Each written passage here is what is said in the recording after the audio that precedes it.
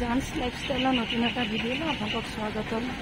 বহুত দিন মই ভিডিঅ' দিয়া নাছিলোঁ অলপ প্ৰব্লেম হৈছিলে ঘৰৰ কিন্তু এতিয়া ভাবিছোঁ দিব লাগিব আগবাঢ়িবতো লাগিবই।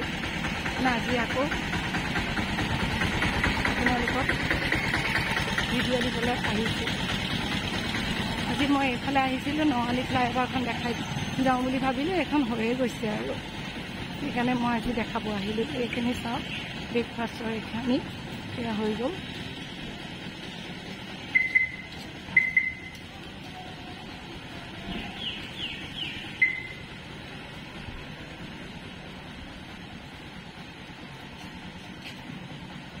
এইখিনিও হৈ গৈছে।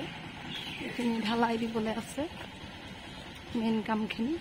মই ভাবিছোঁ দেখাই দিওঁ আপোনালোকেও মোৰ দ্বাৰাই গম পাই থাকে।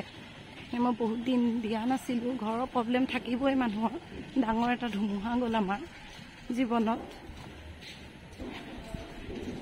এয়া চাওক। এইখিনি আপোনাৰ ঢালাই কাৰণে পূৰা হেৰি কৰা হৈ গ'ল।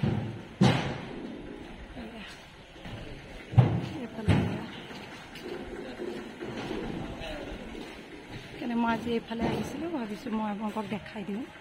এইখন হ'লে আপোনাৰ আগষ্টত হৈ যাব আৰু।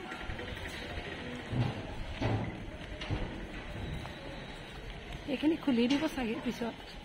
এতিয়া এয়া পূৰা হেৰি কৰি আছে। আৰু এটা ইফালে কাম এটা কৰি আছে মই হয়তো দেখাম বলক।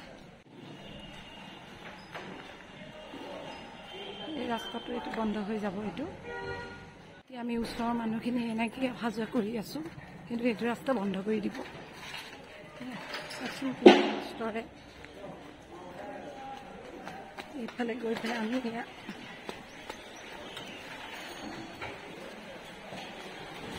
যোৰহাট কলেজৰ এইফালে ওলালোঁ হয় নৱালী আৰু এইখন বনাই আছে দেখিছে এইখন বনাই আছে এইটো চিৰি বনাই আছে এই ওপৰলৈ যাবলৈ ৰাস্তাটো বন্ধ কৰি দিব যিহেতু সেইকাৰণে এই চিৰিৰ পৰাই মানুহে ওপৰলৈ উঠিব আৰু ইটো ছাইডেও দিব চিৰি সেইকাৰণে মই আজি আপোনালোকক দেখাই দিলোঁ।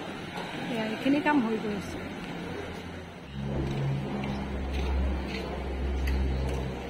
এইখিনি হৈ গ'ল চাওক কিমান ধুনীয়া লাগিছে গোটেই ৰাস্তাটো।